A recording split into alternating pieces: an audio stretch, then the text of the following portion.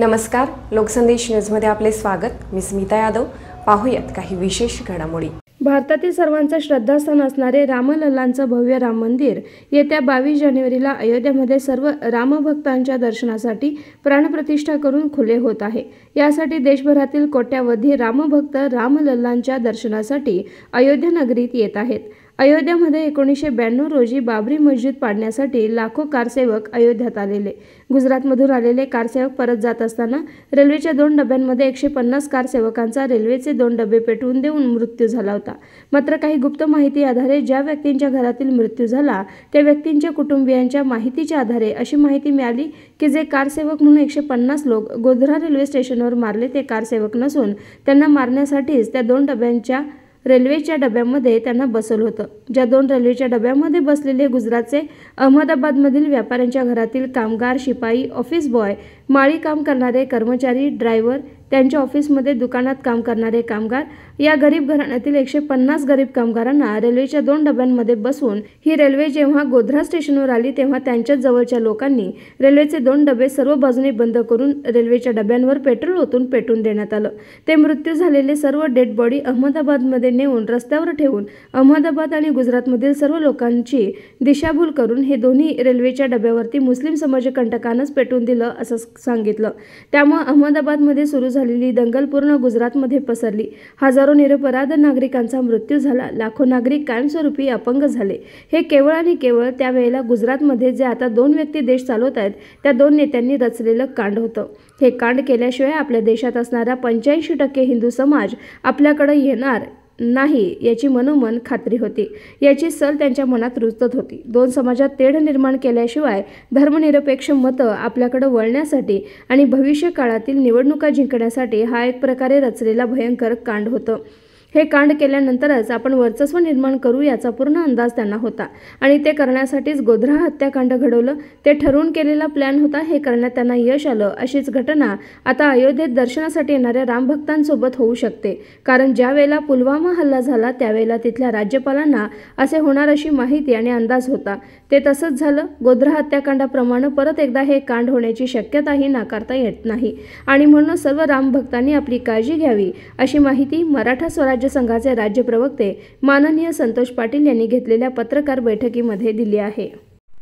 जय श्रीराम. देशातील सर्व रामभक्तांना माझा जय श्रीराम.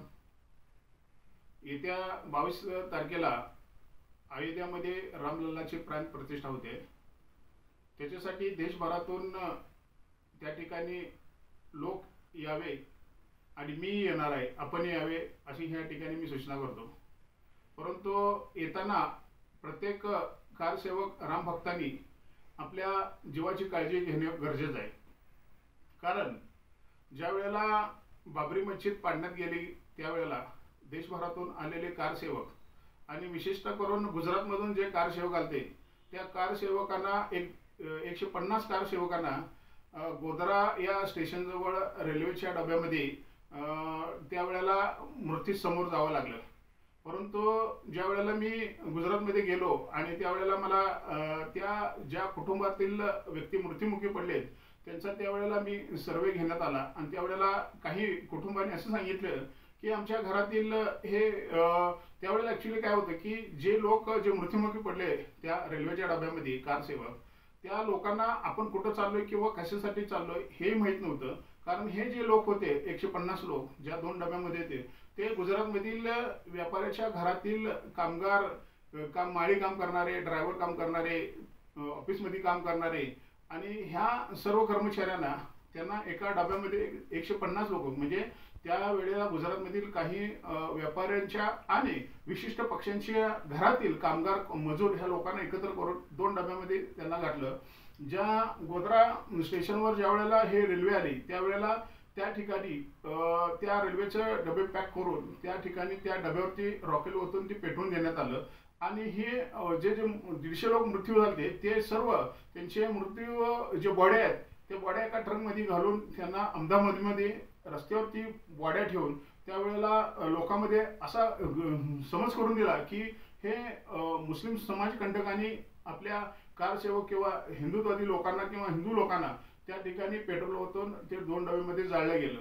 परंतु ही घटना ज्या वेळेला त्या विशिष्ट काही लोकांनी गुजरातमध्ये त्यावेळेला घडवली होती की ज्या वेळेला हि- म्हणजे भारतामधील हा पंच्याऐंशी टक्के हिंदू समाज आहे तो हिंदू समाज असून सुद्धा आपण हिंदू हिंदुत्वादी माइंडसेट आपण ह्या सत्तेवर काय येत नाही हे त्यांच्यात एक डोक्यात भिल्लं होतं.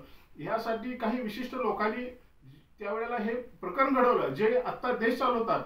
त्यावेळेचं जे स्वप्न होतं त्यांचं पूर्ण झालेलं आहे स्वप्न. कारण ही विशिष्ट घटना घडवून आमच्या देशातील साधे भोळे भाबडे लोक आहेत की कुठं काय घडतात हे माहीत नसतं पण काही विशिष्ट चाणक्य लोक आहेत ते आपली दुर्भोग्य विशिष्ट विध्वंसक बुद्धी वापरून असे काही प्रकार घडवतात. त्याच्यामधील काही त्यावेळेला जी घटना घडवली की की हिंदू मुस्लिम समाजामध्ये आपण जर ते निर्माण करून ह्या काही घटना घडवल्या तर ह्या प्रकारामुळे आपण हिंदू समाजाची मतं आपण आपल्याकडे डायव्हर्ट करू हा एकमेव कारण त्यावेळेला होते की येणाऱ्या निवडणुका आपण जिंकण्यासाठी. त्या गुजरातमधील हे दीडशे लोक ज्या वेळेला मारले गेले त्यावेळेला ती परिस्थिती त्यावेळेला त्या नेत्याने जाणवली होती. ती सध्या आत्ता त्यांना त्यांचं स्वप्न पूर्ण होत आहे की हे देश ते स्वतःच्या हातात चालवतात असे. म्हणून मला एक या देशातील राम भक्तांना सूचना करायची आहे की हे विशिष्ट लोक काही ठराव जाऊ शकतात काही घडवू शकतात. कारण हे पुलवामा हल्ला झाला त्या पुलवामा हल्ल्यामध्येच तिथल्या राज्यपालांनी त्यावेळेला जाहीर केलं होतं की हे घटना मानवनिर्मित घटना आहे कुठल्या दहशतवादी नाहीये. कारण प्रत्येक देशामधील दोन दोन सैनिक एकत्र करून त्यांना मारले होतं जेणेकरून देशभरात समा दोन समाजामध्ये ते निर्माण करून हिंदू समाज आपल्याकडे डायव्हर्ट करणं हा एकमेव कारण होतं.